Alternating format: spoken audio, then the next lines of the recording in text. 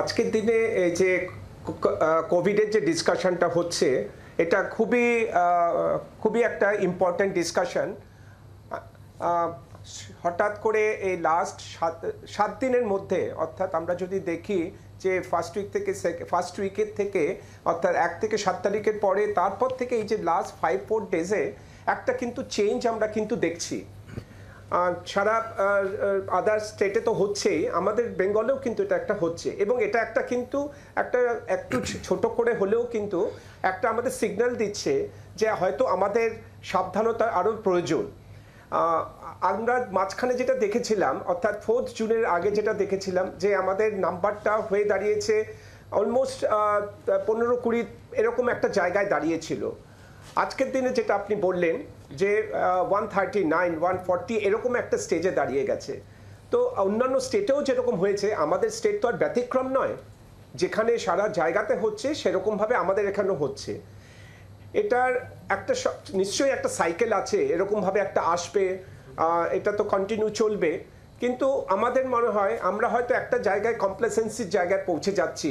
অর্থাৎ রাস্তা ঘাটে যেভাবে এখন অনুষ্ঠান শুরু হয়েছে, যেভাবে পলিটিক্যাল র্যালি চলছে, যেভাবে বিয়ে বাড়ি কিংবা কোনো পার্টি চলছে, সবগুলোতেই দেখা যাচ্ছে লোকে একদম বেলাগাম হয়ে মাস্ক ছাড়া, কোনো সিস্টেম ছাড়া কিন্তু মুভমেন্ট করছে।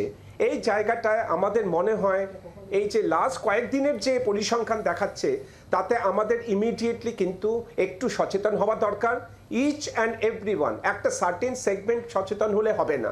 সবাইকে এই জিনিসটা বুঝতে হবে যে জাস্ট দু বছর ধরে আমরা যেভাবে সাফার করেছি এবং সারা ইকোনমি যেভাবে আমাদেরকে চাকরি থেকে আরম্ভ করে সব জায়গাতে আমাদেরকে যেভাবে আমাদের সাফার করেছি আমরা, এই জায়গাটা যেন আবার আমরা যেন পৌঁছে না যাই। এরকম যেন একটা রেস্ট্রিকশনের মধ্যে যেন আমরা, বাধ্যবাধকতার মধ্যে যেন আবার যেন না চলে আসি, এই লকডাউন এই সমস্ত, এগুলো আমাদের দেখে আমাদের সবাইকে একটু আরও বেশি সচেতন হওয়া প্রয়োজন। এবং সচেতনতা আমরা একেবারেই দেখতে পাচ্ছি না। তার একটা মূল কারণ বোধহয় যে অনেকের মধ্যে এই ধারণাটা হয়েছে যে আমরা ভ্যাকসিন নিয়ে নিয়েছি একবার। এরপর তো আমাদের আর কিছু হবে না। এবং সত্যি কথা বলতে মানুষের স্মৃতি বোধহয় খুবই দুর্বল। কারণ যে ভয়ঙ্কর সময়টা আমরা গত দু বছর দেখেছি নি- নিশ্চিতভাবেই আপনাদের প্রত্যেকেরই মনে রয়েছেন আপনারা চিকিৎসক ফ্রন্টলাইন ওয়ারিয়ার কি বিনিদ্র রজনী আপনাদের কাটাতে হয়েছে এবং সেই দিনটা আমরা চাইছি না কিন্তু তাও মেনে নিতে পারছি না। এটা কি মানে মানসিক সমস্যা কিছু?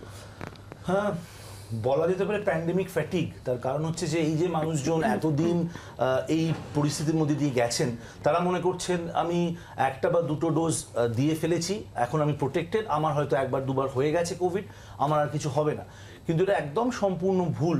প্রথম কথা অনেকেই বুস্টার নিতে চাইছেন না। প্রত্যেকের কাছে আহ্বান যে বুস্টারটা আপনারা নিন। তার কারণ হচ্ছে বুস্টার কিন্তু শুধুমাত্র মানে যে প্রথমের যে ভাইরাসের যে স্ট্রেন ছিল ডেল্টা বা অমিক্রন সেটা অমিক্রনে তো নয় মানে বিফ এ ফোর বা যে সাবলাইনের যেই সমস্ত মানে ভাইরাসের যে সমস্ত ভেরিয়েন্টসগুলো আছে তাতে কিন্তু বুস্টারের ভালো প্রোটেকশন আছে। এবং এই যে সারা বিশ্বে ওয়ার্ল্ড ওয়াইডে যে হেটারোলগাস যে স্টাডি আমরা দেখেছি, তাতে দেখা গেছে এই যে বুস্টার ডোজের কিন্তু একটা বিরাট মাত্রায় রোল আছে। সুতরাং বুস্টার কিন্তু মানুষকে নিতেই হবে, এটা খুব ইম্পর্টেন্ট এবং তাতে কিন্তু আমাদের প্রোটেকশন বাড়বে। অফকোর্স আমাদের বুস্টার নেবার পরেও আমাদের সতর্কতা অবলম্বন করতে হবে মাস্ক পরতে হবে, নিজেদের সতর্ক থাকতে হবে। যখন আমরা একটা ক্লোজ গ্যাদারিংয়ে আছি, আমাদের প্রত্যেককে মাস্ক পরা, নিজেদের পরা এবং যারা আছেন আশপাশে তাদের মাস্ক পরতে বলা।